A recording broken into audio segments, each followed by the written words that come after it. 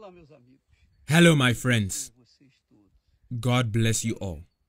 Outra vez dividir com vocês I would like once again to share with you images do Mar da Galileia, of the Sea of Galilee porque essas imagens, because these images a imaginação do que aconteceu aqui na época Jesus, gives us an imagination of what happened in the times of Jesus.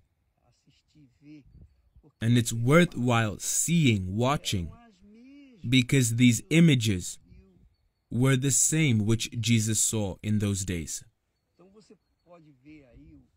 So you can see here the Sea of Galilee,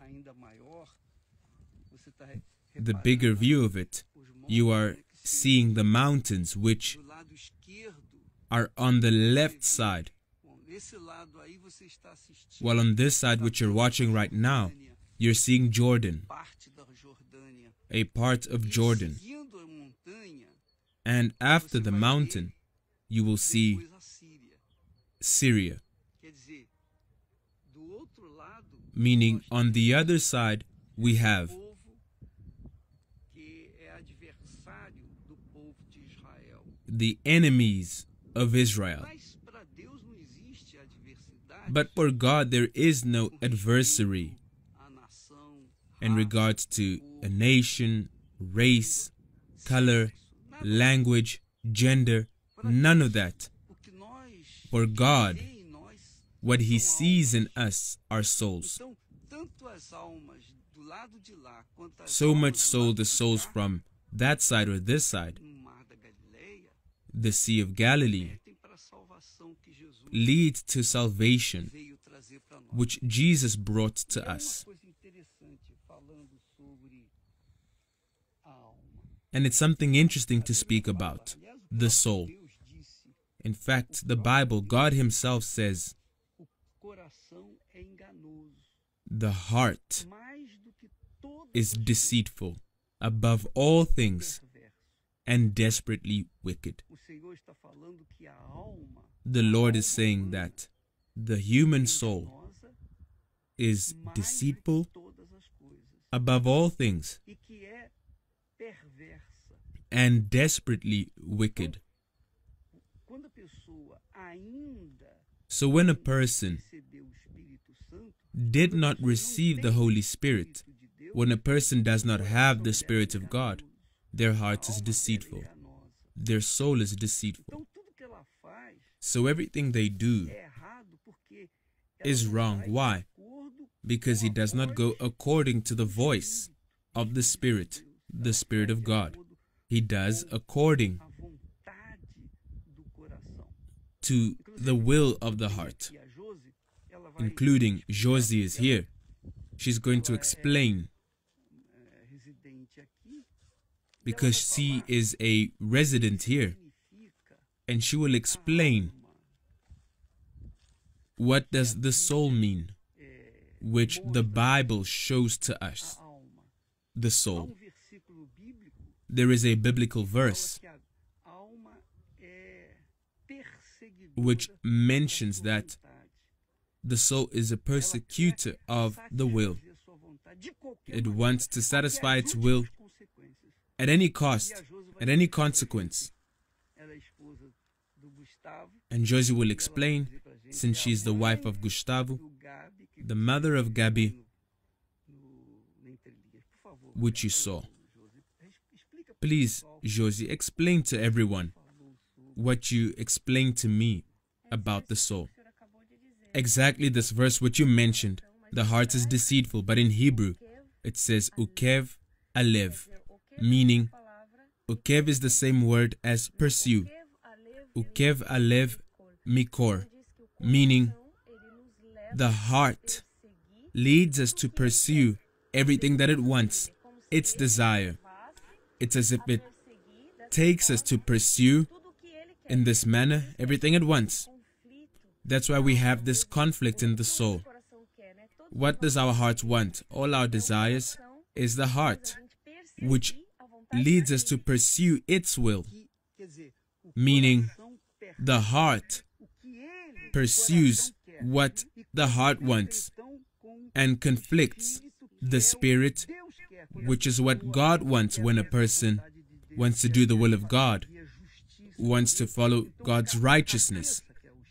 So the head, which is the spirit, wants the right thing, the right thing, but the soul wants to pursue, wants to reach its objective. It doesn't matter the price which it costs. Meaning, this conflict we carry from our birth, from our birth.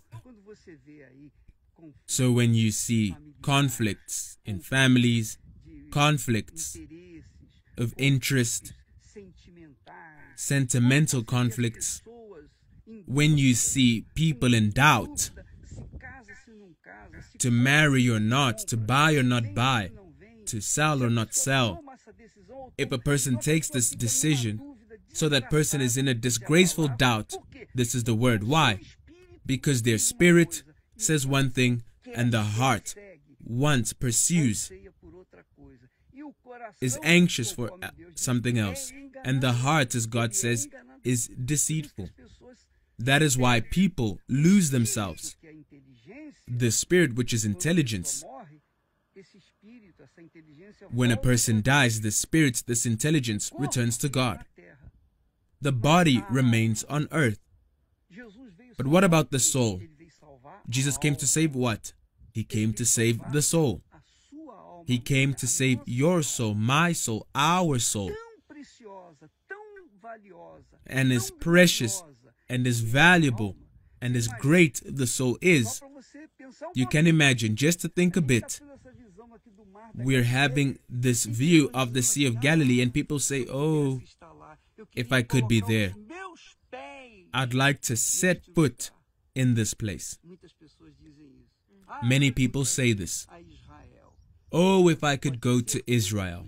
You can be sure that one day, who knows, you'll be here as well. But Jesus said, What profit is it to gain the whole world to have the Galilee at your feet, the whole world at your feet, the whole of Judah, Samaria, and Israel, and the whole world, Europe, America, everything, everything at your feet?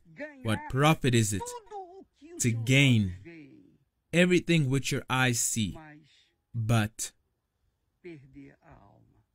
to lose the soul?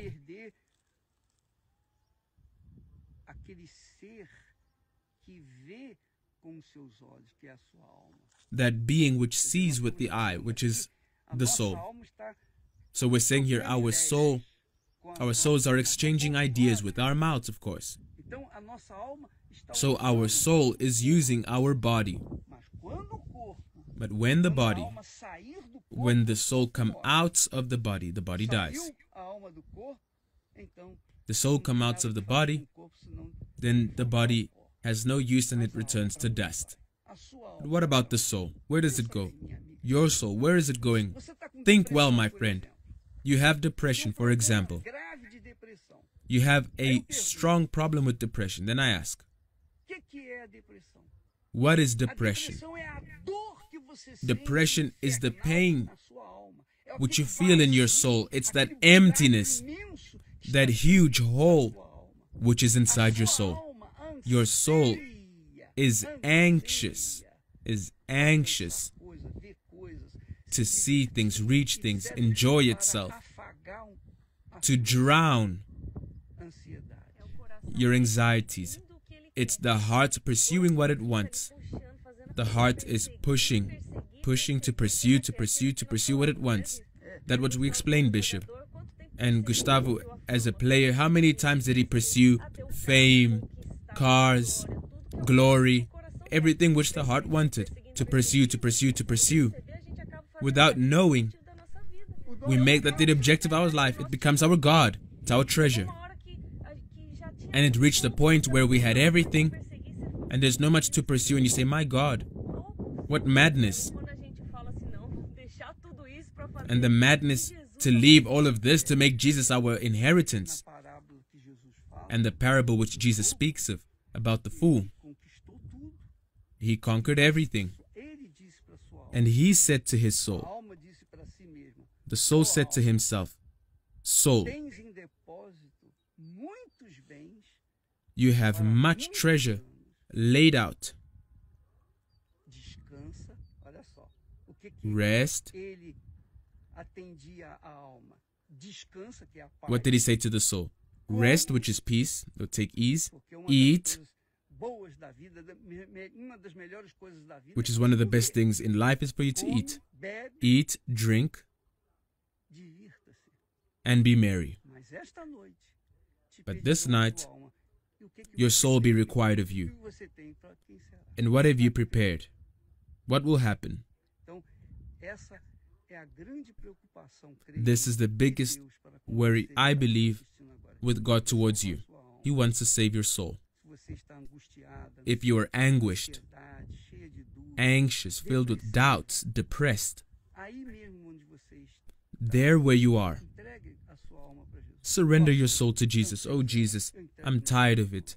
I surrender it in your hands. Then, Vão ser colocadas nos seus devidos lugares, then things will be put in their place vai começar uma vida nova. A and you will start a new life. vai descer sobre você Peace will depend, will descend upon you exactly in this moment once you surrender to the Lord Jesus, who is together with you, waiting for the chance to enter inside of you and to make you have a new heart, a new soul, a new life. God bless you in the name of the Lord Jesus. Till tomorrow.